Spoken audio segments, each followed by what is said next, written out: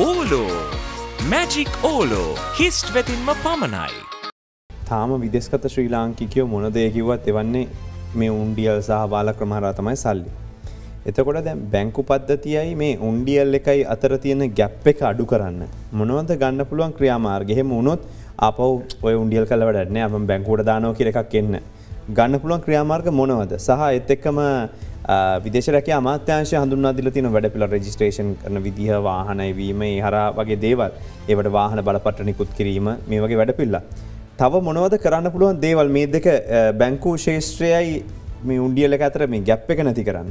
ඕමම හිතන්නේ රජය පියවර රාශියක් ගත්තා මහ බැංකුව පියවර රාශියක් ගත්තා මේ තත්ත්වය මේ අවිධිමත් ආකාරයට විදේශ විනිමය ගලාගෙන ඒ මහා ගලාගෙන ඇම අවම කිරීම සඳහා ඒ අටතේ තමයි රෝපන් කවුන්් ට්‍රන්සක්සන් මූලික වසෙන්ම තාවකාලිකව නතර කරනු ලැබිය අනිත් පැත්තෙන් විදේශ ශ්‍රමිකයන්ට විශාල විවිධාකාර සහන ලබාදීම වැනි කරේ. මම හිතන්නේ දැමේ තැන ඉඳලා ඉදිරියට අපි ලබාදී යුතු තත්ත්වය කුමක්ද කියලා කිවොත් ම මූලික වසයම විශ්වාස කරන්නේ. ආර්ථික ස්ථාවරත්වයක්කට අදාළ වාතාවරණය සැකසීම කියනෙකි තාමත්ම අත්‍යවශ්‍යයි මේ විදේශ විනිමය රට තුළට ගලාගනීම සඳහා ඒක විදේශ ශ්‍රමිකයෝ විතරන්නේ අපනයනකරුව හා ආනයනකරුවන්ටත් අදාළව. අපි දන්න අපනයනකරුවෝ අපනයන ආදායම් එලිය රඳවාගෙන ඉන්නවා කියන කාරණාවක්. නිතරම නැගෙනවා හා ආනයනකරුවෝ රටෙන් එලියට අවශ්‍යවට වඩා වැඩි මුදලක් එලියට අරගෙන යනවා කියන තොරතුරු නැන්නම් කරුණු කාරණා කියවෙනවා. මිනිසා මම හිතන්නේ ආර්ථික ස්ථාවරත්වයක් ඇතිකර ගැනීම රට තුළ දේශපාලන ස්ථාවරත්වයක් කර ආර්ථික ස්ථාවරත්වයක් ආර්ථික ඉදිරි ප්‍රතිපත්තියක් ඉදිරි දැක්මක් සහිත ප්‍රතිපත්තියක් පැවතීම කියනක ඉතාමත්ම වැදගත් වෙනවා.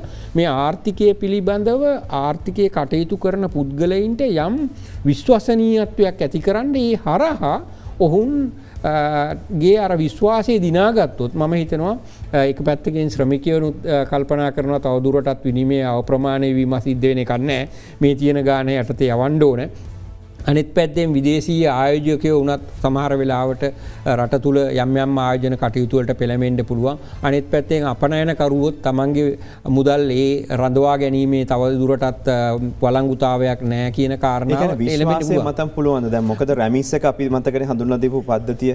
එය හඳුන්න දෙනකොට අපනයන ආනයන මේ හැම එකක් පිළිබඳ අවධානයමු කලා මේවා අතරමඟ නැවතුනා දැන් වරාය බලන්නෙත් නෑ ආදේශයාදායම එක බලන්නෙත් නෑ. මේ පද්ධති අක්‍රිය වුණන් පස්සේ කොච්චරක් යවනවද කොච්චරක් ගේනවද? ලෝක අනෙක් රටවල් හැබ මෙහම කරන්න ෑන මේ තාක්ෂණය ගෙනල්ල තියෙනවන මේ තැන්වලට.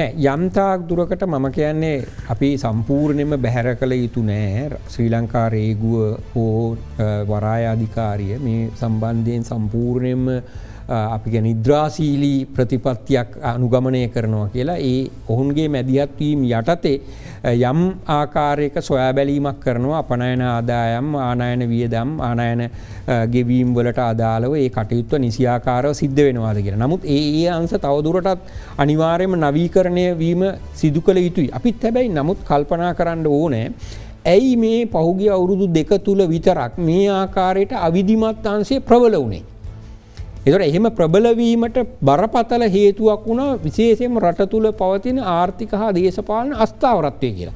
එම නැන්නම් ඔය විදිහට කරන පුද්ගල ඔයිට ඉස්සල්ලත් කරන්න ඇතින හැබැ ඔයිට ඉස්සර කරට අපිට මේ විදිහට විශාල විදේශ විනිමේ හිංගියකට මුහුණ පෑවෙනෑන වෙනත් රටවලත් ඔයහකාකාරයකටම ඔය සිද්ධ වෙනවන. හැබැයි ඒ රටවල් විදේශ විනිමට අදාල බරපතල ප්‍රශ්නයකට ඇවිල්ල නෑන මේ විදිර එනිසා මම හිතන්නේ අපි මේ රට තුළ තියෙන ආර්ථිකා දේශපාලනික අස්ථාවර ස්ථාවරත්වය කියලා ස්ථාවරත්වය ප්‍රබල විදියට බලපානවා එක පැත්තකින් ඩොලර් අතේ තියෙනවනම් ඒව හඟගෙන තියාගන්න.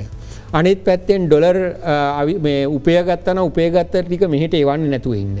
අනිත් පැත්තෙන් යවනකොට තමන්ට අවශ්‍ය ප්‍රමාණයට වඩා යවන්න මොකද මේක නීති අනුකූල බැංකුවලින් සමහර කටයුතු සඳහා අපිට ලබා ගැනීම හැකියාවක් නෑ විදේශ විනිමේ. මේ මේ මේ අස්ථාවරත්වයට මම මම හිතන ආර්ථික අස්ථාවරත්වය විශාල විදියට බලපාලතිය. ඒ නිසා ඒක නිමා කිරීම සඳහා වූ විදිමත් වැඩ පිළිවෙලක් අනුගමනය කොරොත්.